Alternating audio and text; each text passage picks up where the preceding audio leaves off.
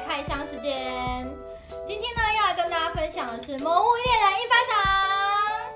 那呢，如果有追踪我 IG 的朋友，应该都知道我本来呢要去日本玩，是因为呢新冠肺炎呢非常的严重，所以呢我就取消我的日本行啦。我本来去那边呢就是要抽一番赏的，好可惜哦没有抽到。但是呢，我在逛地下街的时候呢，发现一间呢，它有在抽魔物猎人一番赏，所以我呢就想说，哎，没有在日本抽，那我在这边抽一波好了。那我总共抽了八抽，抽到了一 A 一 B，然后一个头雕磁铁，四个杯子跟一个毛巾。那我就先从小奖来跟大家做介绍。小奖是居赏，居赏我就有抽到了一个。那居赏呢，它总共有八个款式，分别是四个的大毛巾跟四个的小毛巾。那我这一次呢，因为是抽日版，所以我是选择了大毛巾。那我拆开给大家看，它这个就是大毛巾。那代理版的话呢，应该是没有大毛巾的。那下一个。那杯子呢，我总共抽到了四款。那我个人是觉得前面四款呢，有龙的图呢比较好看。好可惜哦，我只有抽到了一个。那另外一个呢，我觉得呢，它这个猴子的图案呢也蛮好看的，女生应该会蛮喜欢的。那下一个是衣裳，衣裳呢我没有抽到，但是我很庆幸的，还好我自己没有抽到。衣裳是笔记本，那笔记本呢，我个人是觉得蛮懒的啦。我花了四百块钱去抽一个笔记本，这不是二十块钱文文具店就有卖的吗？那但是呢，如果人家说，哎，你毛巾不是也是就是哎蛮蛮乐色的吗？但是毛巾我至少是抽到大条，就是还好没有那么难过。但是抽到笔记本会觉得。我花四百块到底要抽这个干干嘛？而且现代人谁会用笔记本啊？还好我没有抽到。下一个是头雕，我也觉得蛮酷。它这个是低赏头雕。那这次头雕呢有出两款，分别是冰咒龙跟灭尽龙。那我是选择跟这次主题蛮符合，就是冰咒龙。那我看打开给大家看。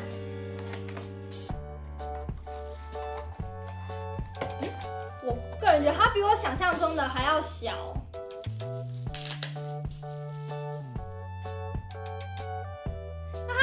其实还不错哦，它有做出那种三色的渐层色，而且它的脖子呢，它的龙鳞其实也蛮明显的。它小归小，但是它的细节度也是有做出来的，像是它的牙齿，还有它的眼睛，我个人觉得嗯还不错。好可惜我没有抽到另外一个面镜龙，我只有抽到一个而已。C 赏，C 赏是温泉猴。那我呢没有抽到温泉猴，我在现场的时候有看到有人抽到，我觉得蛮可爱的，女生应该会蛮喜欢的。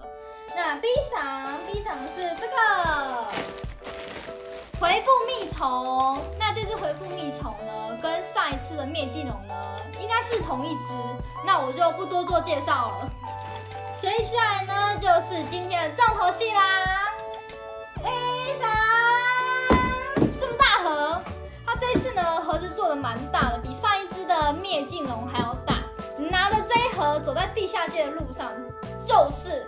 份地位的象征。到底有差多大呢？我拿给大家看一下，上一支的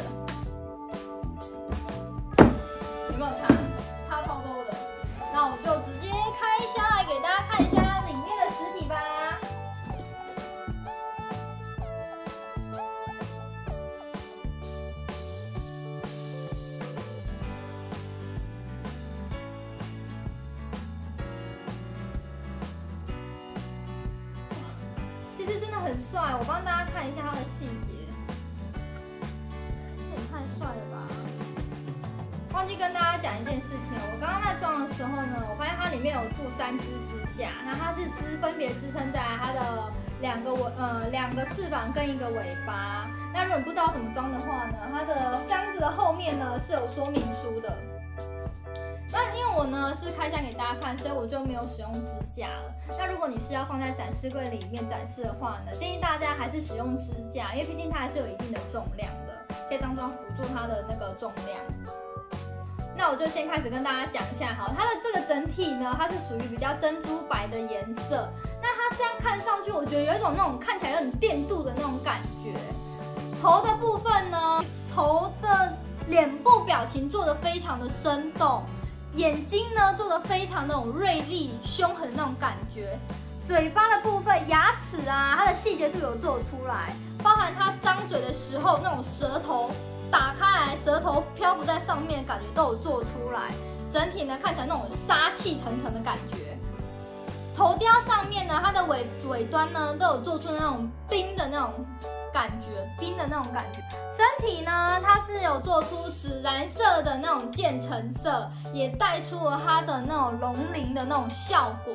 它这只细节呢，其实蛮多的，真的是帅到爆哎！接下来是介绍它的翅膀，也是这一次的重点。为什么它箱子要做这么大呢？就是为了保护它的翅膀。它的翅膀呢，它有做出那种三色的渐层色，非常的帅气。上面呢蓝紫色的部分有做出它的原色的感觉，尾端呢一样是做白色的感觉。它这个感觉呢，我觉得像是那种冰山。太阳打在那种冰山上面的那种折射的感觉，非常的帅气。尾巴的部分呢，也是有做出它的那种效果的，而且它是做那种比较硬的那种效果，它不是做那种软胶的效果。它这次跟上一只的灭迹龙比较不一样的地方是，它有附一个底座，所以冰咒龙站在上面呢，更有那种霸气的感觉。下面的底座是做比较空心的，这是唯一一个小小的缺点，但是它不不减它的霸气。我拿我的上一只的灭镜龙来给大家看一下，做比较一下。这是上一只的灭镜龙，是不是一样帅气？这次是比较大了一点啊。那如果你有收上一只的灭镜龙呢？这一次的冰咒龙你一定要收。那如果你只有收这次的冰咒龙呢？上一次的灭镜龙，你一定要把它收回来。这两只摆在一起，你不觉得就只有一个字可以形容吗？就是帅，真的觉得非常帅。这次真的是还好，我有去抽一波。那呢，这一只抽到呢，真的有弥补了我没有去日本的那种小小遗憾。介绍到这边。喜欢我的影片，记得按赞、订阅、分享。我们下次见，拜拜。